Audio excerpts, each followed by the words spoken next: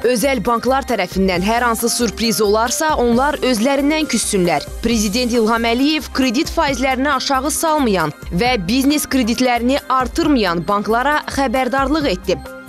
Bakıda orta maaş 934 manata çatıb. Paytaxt üzrə orta aylıq nominal əmək haqqı açıqlandı. Rusiyada yaşayan azərbaycanlılar hər ay evə nə qədər pul göndərir? İqtisadi zona 9 fevral saat 19:20-də ATV-də.